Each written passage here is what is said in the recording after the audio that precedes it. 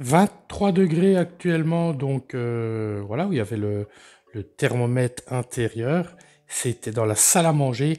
Ici, je peux vous dire que c'est pas 23 degrés dans le bureau, c'est plus 26 euh, degrés avec la, avec la baie vitrée qui fait bien rentrer le soleil.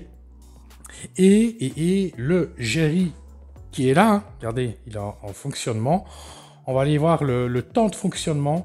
Je pense qu'il est en route depuis, euh, depuis 2-3 heures. Oui, facilement.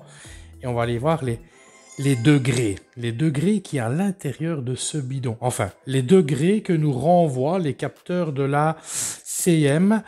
Euh, plus précisément, les degrés que nous renvoient les cœurs de CPU.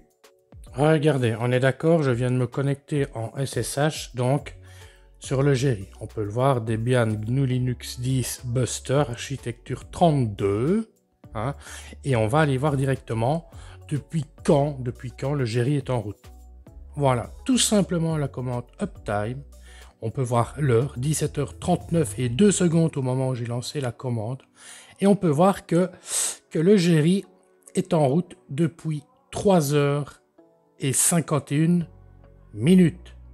Et là, avec vous, je vais lancer la commande sensors.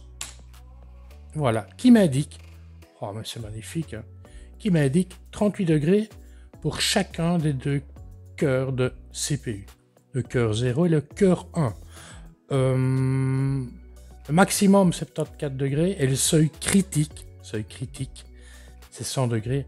Je pense que c'est tout à fait compréhensible. Et allez, bye.